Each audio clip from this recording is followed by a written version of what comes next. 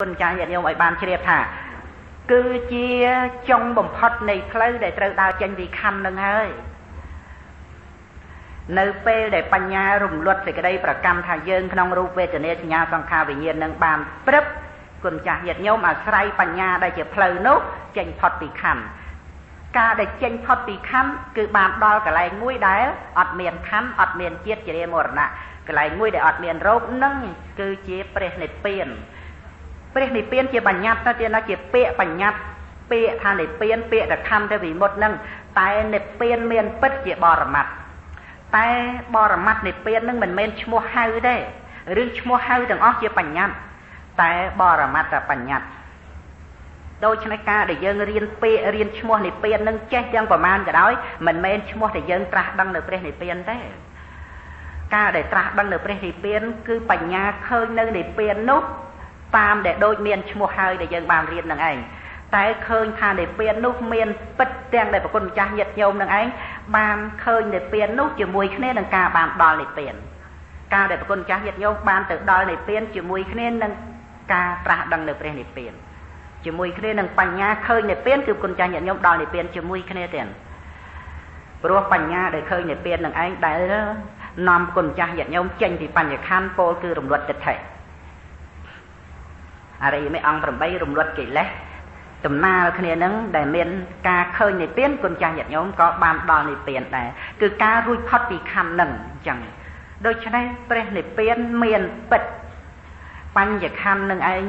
មានពិតជាបរមត្តយ៉ាងណានិព្វានក៏មានពិតដែលជាបរមត្តផ្ទុយពីបញ្ញខណ្ឌមានដូចគ្នាទេគ្រាន់តែថាមួយមាន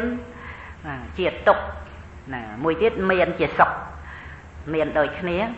ហើយមួយទៀតមានជារោគមួយទៀតមានដោយការអត់រោគបញ្ចខន្ធេគន្ធតោបញ្ញខណ្ឌនឹងជាបុកនិរោធោអកណ្ដឹងនិព្វានន្តេការរំលត់នៅបញ្ញខណ្ឌហ្នឹងនិព្វានរំលត់បញ្ញខណ្ឌណាទេណាដោយក្តីថា ចេញផុតពីបញ្ញខណ្ឌឬបញ្ញខណ្ឌចូលទៅកើតក្នុងនិព្វានមិនបានព្រោះអត់បច្ច័យទៅនិព្វានឈ្មោះថានិរោធនិរោធជាជាព្រះនិព្វាននឹងមិនមានបុកបញ្ចខន្ធេ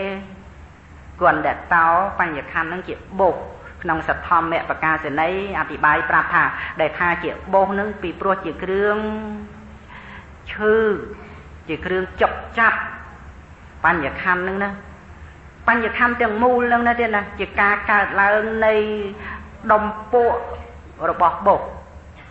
បោសនឹងវាវាមិនហើមសាច់អាបោសសាច់យើងណាវាមិនហើមវាមិនរលោងរលោងទៅវាមិនចុករហូតដល់មានមុខមែនទេអាហើយបើវាមានក្របបោសនៅក្នុងនឹងវាមិនចុកវាមិនឈឺហ្នឹងបោសប៉ុន្តែបញ្ញខណ្ឌដែលកើតឡើងនឹងជាតួបោសនឹងតែម្ដងទៀតដែលមានកិលេស ជាជាខ្ទុះជាក្របរបស់បុកខ្ទុះក្របបុកជាគ្រឿងស្មោកក្រោកនៅក្នុងអត្តកថាលោកសម្ដែងថាអសុចេកិលេសនឹងរបស់បុកមែនឬមែនទាំងបញ្ញខណ្ឌជាបុកមែនទេឈឺទេចុកទេហួលទេបុកហើយតែមានអាបុកមែនទេនោះ ដែលយើងហៅថារោគបុកបុកនោះណាអាហ្នឹងដើម្បីយកមកជាអតិហោហ្នឹងតែតាមមែនទេឲ្យយើងស្គាល់សំបីមិនមានបុកនៅសាច់ហ្នឹងក៏ដោយតែបញ្ញខណ្ឌរូបវេទនាសញ្ញាសង្ខារវិញ្ញាណហ្នឹងគឺគេអណ្ដិតឲ្យជាបុកព្រះនិព្វានអត់មានបុកទេដូច្នេះដំណើរដែលត្រូវដើរចេញអំពីបញ្ញខណ្ឌគឺត្រង់ដែលបញ្ញាឃើញបញ្ញខណ្ឌជាបុកនឹងឯងទៀតព្រោះវាកើតឡើងបុកដែរបុកដែលកើតនៅសាច់ហ្នឹង ប្រគុណចាស់ញាតិញោមថាបុសនឹងខ្លួនយើងដែរមិនមែនខ្លួនយើងទៅនៅកន្លែងបុសនឹងដែរឬក៏ក្របបុសនឹងជាខ្លួនយើងអាអាបុសវាមានក្របក្របសសណាហើយក្របបុសនឹងជាខ្លួនយើងទេអត់ទេយ៉ាងណាមិញនៅក្នុងបុសគឺបញ្ញខណ្ឌនឹងក៏អត់មានសត្វបកលដូចតែគ្នាកាលណាបើបញ្ញាឃើញអញ្ចឹងហ្នឹងហើយឈ្មោះថាទុក្ខានុបស្សនាញាណ ហើយទុក្ខានុបស្សនាញាណដែលមានអញ្ចឹងដែលឃើញខណ្ឌ5ជាបុសហ្នឹងគឺជាទុក្ខទៅជាទុក្ខានុបស្សនាហើយហើយកាលណាបើបានទុក្ខានុបស្សនាឈ្មោះថាបានអនុឡោមិកខន្តីបានអនុឡោមិកខន្តីនឹងចុះកម្មសមត្តនិយមធោគឺអរិយមគ្គនឹងដែលព្រះអង្គសម្ដែងនឹងទៅអញ្ចឹងកាលណាបើចុះកម្មសមត្តនិយមធោនឹងបានសម្រេចនៅអរិយផលមានសតតាបតិផលជាដើមចេញឬមិនចេញទេ យើងកុំស្មានថាយើងទៅរស់ផ្លូវអីផ្សេងទៀតណាអាដែលយើងគិតទៅរកផ្លូវអីផ្សេងទៀតហ្នឹងមកអំពីនឹងយើងគិតដោយមិនមែនជាបញ្ញាបើពិតជាតួបញ្ញាហើយនឹងត្រូវដឹងថានឹងជាផ្លូវអត់មានទៅរកផ្លូវអីផ្សេងទៀតទេ នៅពេលដែលឃើញបញ្ញខណ្ឌនឹងឯងជាទុកជារោគជាបោកការដែលឃើញនឹងជាផ្លូវនឹងតែម្ដងព្រោះជាវិបស្សនា ជាអនុឡោមញាណ ហើយប្រព្រឹត្តទៅដើម្បីមគ្គញាណជាផ្លូវហើយដូច្នេះការអប់រំចម្រើនសតិប្បដ្ឋានវិបស្សនាត្រូវតែជាប្រកដីក្នុងជីវិតប្រចាំថ្ងៃក្នុងឋានៈដែលមានសតិរលឹករូបធម៌និងនាមធម៌នាំមកនៅវិបស្សនានេះគឺជាការកសាងផ្លូវចេញពីបញ្ញខណ្ឌចេញពីទុក្ខចេញពីរោគចេញពីបោសវាមិនមែន ក្នុងការដែលយើងដឹងថាបញ្ញខណ្ឌជាប្រកដីធម្មតានឹងមិនទៀងជាទុក្ខជាអនត្តាយើងត្រូវទៅធ្វើផ្លូវអីមួយផ្សេងទៀតដើម្បីចេញពីបញ្ញខណ្ឌខុសហើយទៀតមិនមែនជាផ្លូវដើម្បីចេញពីបញ្ញខណ្ឌរួចទេផ្លូវចេញពីបញ្ញខណ្ឌគឺសតិប្បដ្ឋាន4ក្នុងខណៈដែលមានសតិរលឹករូបធម៌និងនាមធម៌ឈ្មោះថាគុណម្ចាស់ញាតិញោមកសាងផ្លូវដ៏ប្រសើរដែលសម្រាប់ដើរចេញពីបញ្ញខណ្ឌនៅពេលណាមួយស្រាប់តែបញ្ញខណ្ឌប្រកបច្បាស់ គុណម្ចាស់ញាតិញោមបាត់ពីបញ្ញខណ្ឌទៀតបាត់ទៅស្រាប់តែគុណម្ចាស់ញាតិញោមទៅដល់កន្លែងមួយ ដែលជាទីពឹងដែលជាកោះដែលរួចផុតអំពីទុករួចផុតពីរោគរួចផុតពីបុកចឹងបញ្ចខន្ធេសាលតោទី4ណាទៀតណាទុក្ខតោ1រោគតោ2 កណ្ដតោ3សាលតោ4បញ្ចខន្ធេសាលតោសាលតោប្រែថាជាព្រួញសដោយសេចក្តីថាចាក់ដោតនិរោធោនិសលੰនិព្វានន្តៈនិសលੰគឺព្រះនិព្វានហ្នឹងណា ដែលរំលត់បញ្ញខណ្ឌគឺផុតពីខណ្ឌ5ហ្នឹងដែលបញ្ញខណ្ឌមិនអាចកើតឡើងបាននោះជាព្រះនិព្វានហ្នឹងដែលប្រគុណចាស់ញាតញោមអាចមានមគ្គដល់ប្រសើរផ្លូវដល់ប្រសើរទៅដល់ព្រះនិព្វានហ្នឹងព្រះនិព្វានហ្នឹងអត់មានព្រួញសដោយអត្ថាអត់មានគ្រឿងចាក់ដោតរូបជាគ្រឿងចាក់ដោតទៀត វេទនាជាគ្រឿងចាក់ដោតសញ្ញាសង្ខារវិញ្ញាណជាគ្រឿងចាក់ដោតទាំងនៅក្នុងបញ្ញខណ្ឌនេះមានរាគៈជាសមានតោសៈជាសមានមោហៈជាសមានទិដ្ឋិជាសមានមានអ្នកជាសមានណាមានសវិជិកិច្ឆាក៏ជាសសេចក្តីសោកក៏ជាសកិលេសទាំងអស់ជាសក្នុងបញ្ញខណ្ឌនឹងជាព្រួញសទៀតតណ្ហាជាព្រួញសមែនទេ ដោតក្នុងហប្រតិហើយដោយអត្ថាមិនងាយដកបានទេបញ្ញខណ្ឌនឹងងាយដកបានទេក្នុងសង្សារវត្តនឹងសត្វលោកតម្រុំតែដកបញ្ញខណ្ឌដែលជាព្រួញសនេះបានណាតើរាប់ជាតិថា100ជាតិឬ100កោតជាតិបានទេរាប់ជាតិមិនបានទេទានបញ្ញខណ្ឌជាព្រួញសនៅពេលណាដកព្រួញសបានដោយអរិយមគ្គដោយបញ្ញាព្រឹប ដល់នៅព្រះនិព្វានដែលជានិសលੰគឺព្រះនិព្វានដែលផុតអំពីព្រួយសបញ្ញខណ្ឌជាសទៀតសត្វលោកអាស្រ័យនឹងខណ្ឌឈ្មោះថាសត្វលោកនោះជាប់ទៅដោយព្រួយសស្ទុះទៅគ្រប់ទិសទាំងពួងទាំងភពតូចភពធំជាប់ព្រួយមែនទេស្ទុះទៅក្នុងភពជាប់ឬមិនជាប់ទេបាទហើយកុំឲ្យមកថា ជាប់ព្រួយសមិនដល់គ្រូបើគ្រាន់តែខណ្ឌ5នោះអត់មានសัตว์ផងនោះកុំតន់ចូលដល់ប៉ុណ្ណឹងទេអានឹងឲ្យយើងឃើញថារឿងក្នុងសង្សារវត្តនេះណាវាមិនមែនរឿងដែលអត់សัตว์នឹងទេរឿងនេះវាមានសัตว์វាមានបកគលហើយដោយសេចក្តីប្រកាន់នឹងឯងទាំងបញ្ញាដែលដឹងថាសេចក្តីប្រកាន់នឹងណាជាកិលេសទេមិនមែនសัตว์ទេក៏វាអត់មានបញ្ញាអីទៅដឹងអញ្ចឹងនឹងដែលឈ្មោះថាសត្វលោកអាស្រ័យក្នុងវត្តដាក់ រឿងយើងនិយាយដោយបរមត្តធម៌អានឹងយើងនិយាយនៅក្នុងរឿងផ្លូវឬយើងនិយាយនៅក្នុងគ្រឿងដែលសម្រាប់ខើចកន្ត្រាក់ដកព្រួយស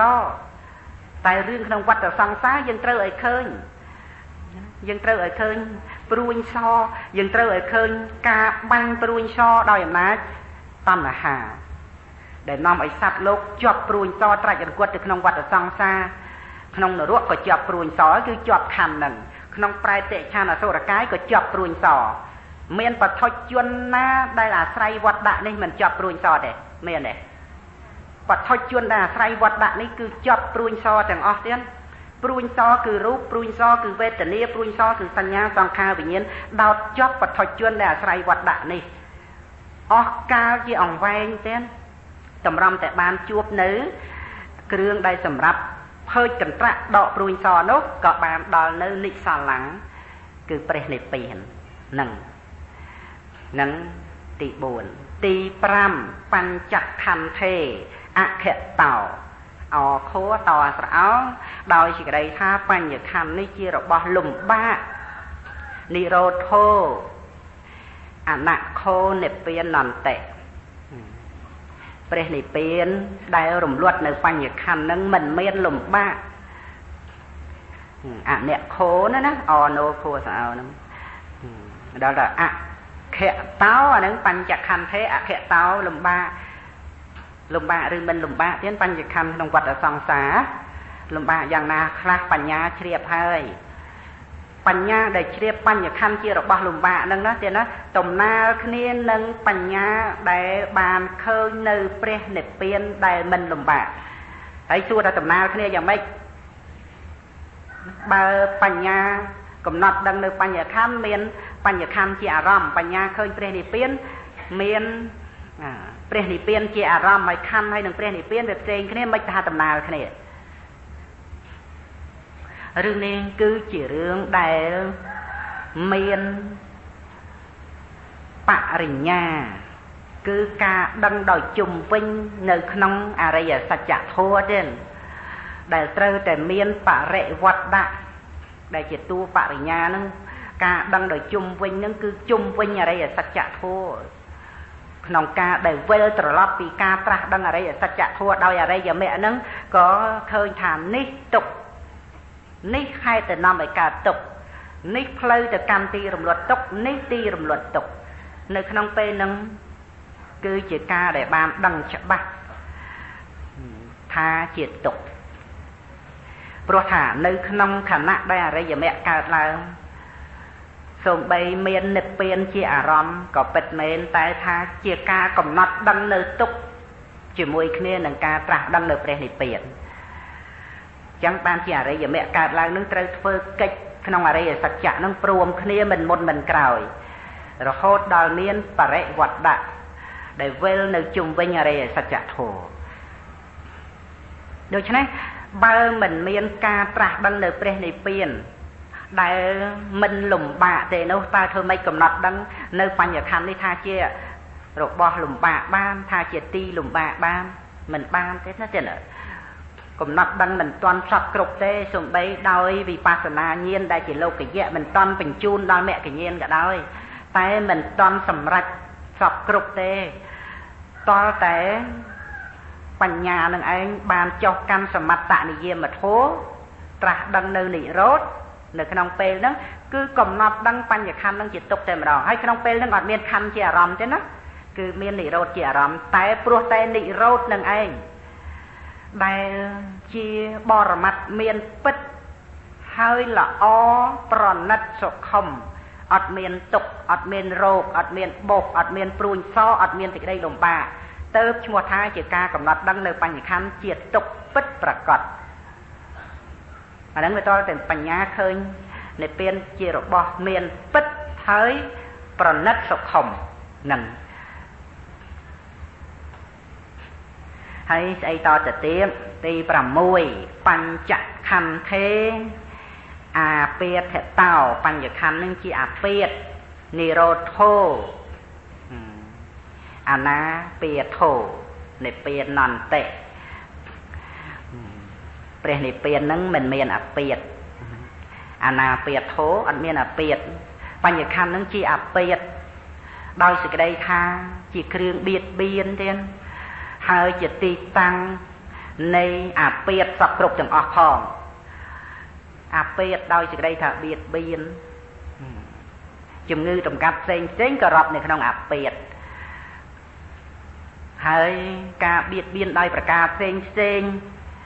ចំពោះបញ្ញខណ្ឌនឹងសពគ្រប់ក្នុងជីវិតដែលរស់នៅ ប្រព្រឹត្តទៅដើម្បីអាពាតមាននៅក្នុងបញ្ញខណ្ឌ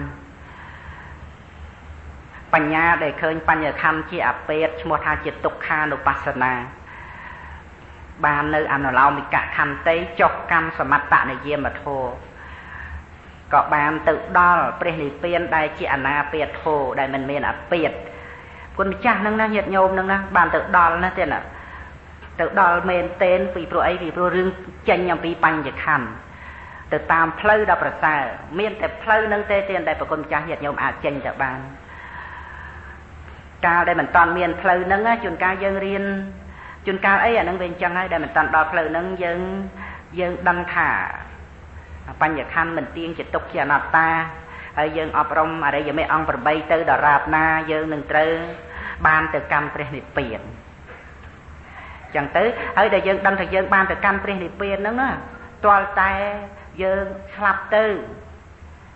អានឹងបានយើងដល់ព្រះនិព្វានព្រោះព្រះនិព្វានមិនមែនបញ្ញខណ្ឌទេណាហើយបើនៅរស់អញ្ចឹងបានអីបានព្រះនិព្វានបន្តតែស្លាប់ហើយស្លាប់ទៅអត់កើតទៀតអានឹងបានដល់ព្រះនិព្វានហើយព្រោះនិព្វាននឹងអត់កើតរឿងហ្នឹងរឿងនៅចត់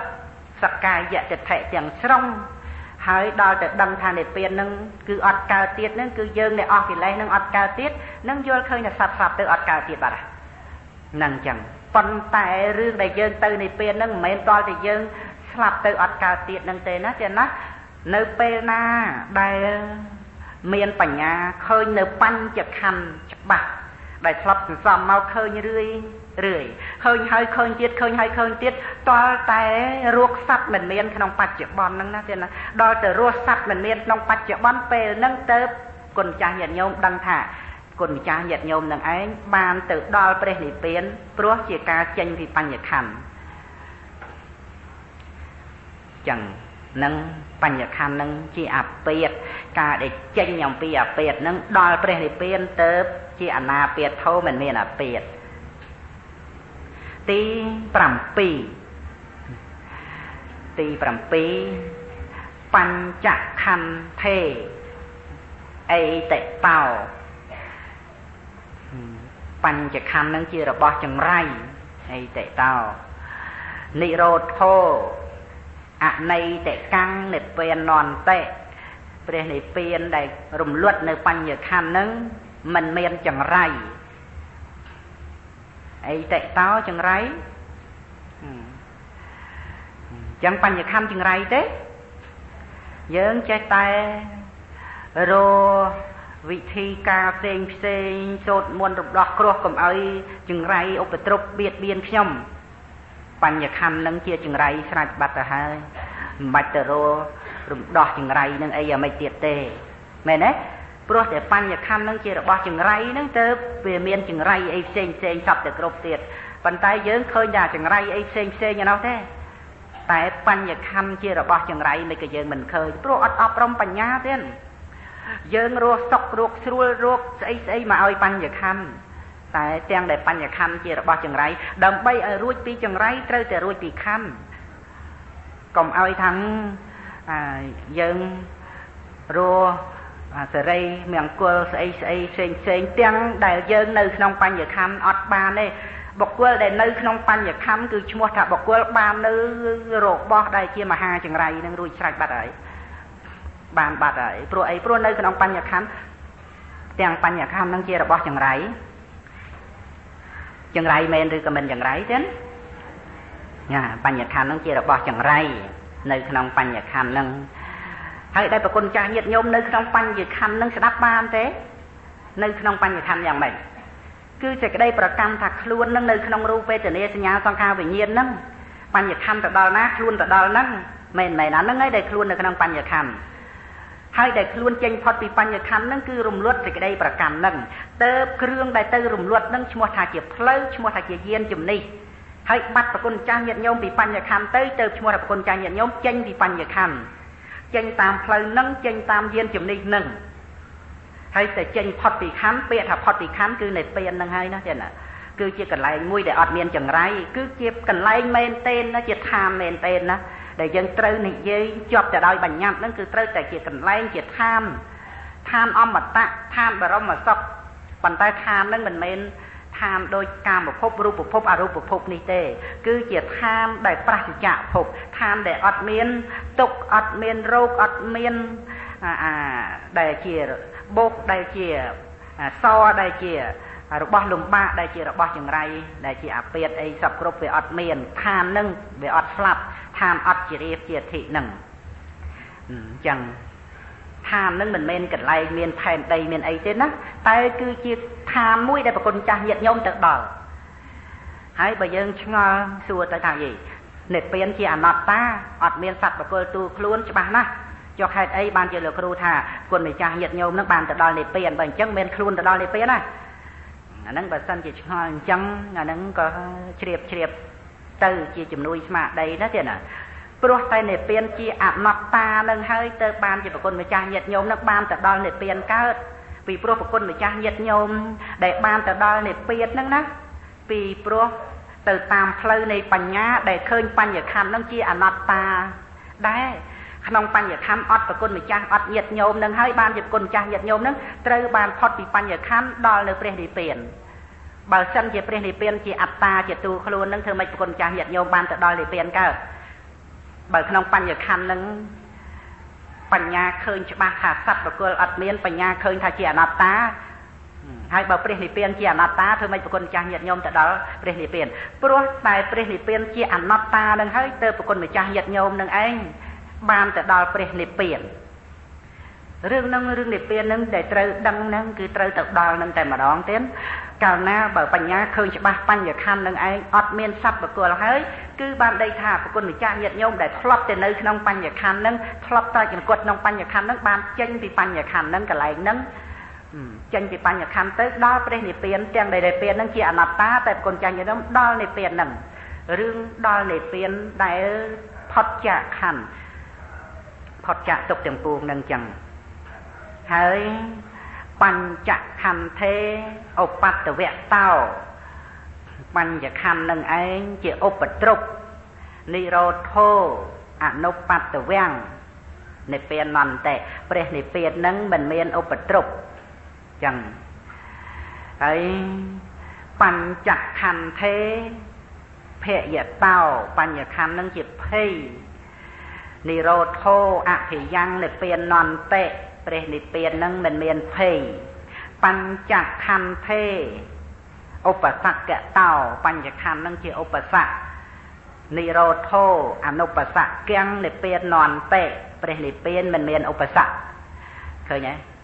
10ហើយឃើញទេ10ហ่ะ10ហ่ะ6ហ្នឹងបញ្ញខណ្ឌចង្រៃ7បញ្ញខណ្ឌជាឧបទ្រព8បញ្ញខណ្ឌជាភ័យ9បញ្ញខណ្ឌនឹងឯងជា ឧបសគ្គប្រមាណហើយរាប់តាមនឹងទៅឃើញហើយក្នុងពួកទុកនឹងទី1បញ្ញខណ្ឌជាទុកទី2បញ្ញខណ្ឌជារោគទី3បញ្ញខណ្ឌជាបោកទី4បញ្ញខណ្ឌជាព្រួញសទី5បញ្ញខណ្ឌជារបស់លំបាកទី6បញ្ញខណ្ឌជាអពាត ទី7បញ្ញខណ្ឌចង្រៃទី8បញ្ញខណ្ឌជាឧបទ្រពទី9បញ្ញខណ្ឌនឹងជាភ័យទី10បញ្ញខណ្ឌនឹងជាឧបសគ្គសិតតែនៅក្នុងទុក្ខានុបស្សនាដែលបញ្ញាឃើញអញ្ចឹងទេណាអញ្ចឹងហើយតទៅរៀបរាប់ទៅបញ្ញខណ្ឌនឹងឯងមិនមានទីជ្រក់11ទី12បញ្ញខណ្ឌនឹងឯងមិនមានទីពួន ហើយទី13នឹងបញ្ញខណ្ឌនឹងឯងមិនមានទីពឹងរៀបរាប់ទៅប៉ុន្តែបើគ្រាន់តែរាប់រាប់អញ្ចឹងទេ មើលសិភៅទៅក៏ដូចតែគ្នា បានជាសំដែងរៀបរាប់វេញេតាមន័យនៃអត្ថកថាដែលលោកបញ្យល់ឲ្យឃើញថាតើដែលបញ្ញខណ្ឌជាឧបទ្រពនឹងយ៉ាងណាហើយជាភ័យនោះយ៉ាងម៉េចជាឧបសគ្គនឹងប៉ុន្តែបើប្រគុណចាស់ញាតិញោមមានបញ្ញា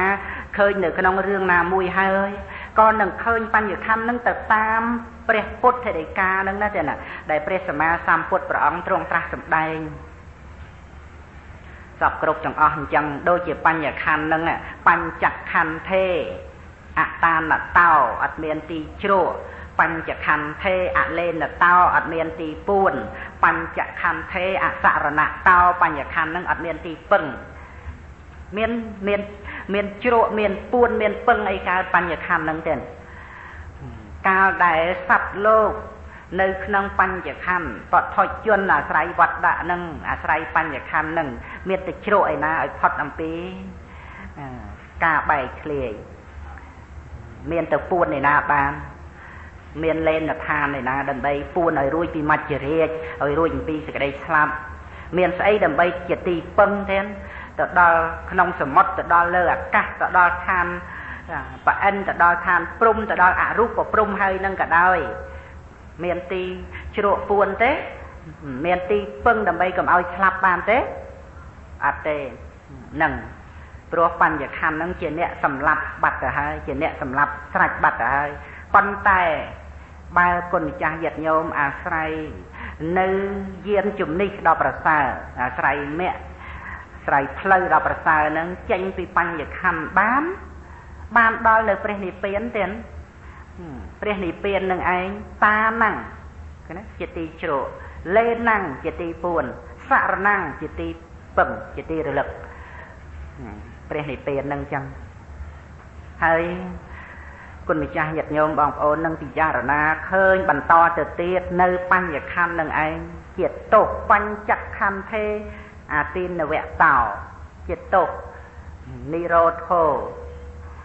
អាណាទីនវាំងនិព្វានអន្តៈព្រះនិព្វានទៅមិនមានទោសណានៅក្នុងបញ្ញខណ្ឌនេះទោសសពគ្រប់ទាំងអស់ចឹងដូច្នេះញាតិញោមបងប្អូននឹងត្រូវការដើម្បីចេញពីបញ្ញខណ្ឌទេគុណចាស់ញាតិញោមណាតែណានិមន្តទេចេញទេឬក៏សបាយរីករាយនឹងយានជំនិះក្នុងលោកនេះសបាយរីករាយនឹងដំណើរ កើតស្លាប់ក្នុងលោកនេះដោយបញ្ញកម្មផ្សេងផ្សេងត្រេកអរក្នុងភពចឹងនៅពេលដែលយើងនិយាយអីខុសទៅគឺអញនិយាយខុសហើយតិចគេយកពេលអញទៅនិយាយបែកបែកទៅអញមានទុកទោសគ្រោះថ្នាក់អីឃើញទេឃើញបញ្ញខណ្ឌជាទោសឯងតតទៅតាក់ទងនឹងរឿងគេគេមកសួរមាត់កពិបាកដោះស្រាយ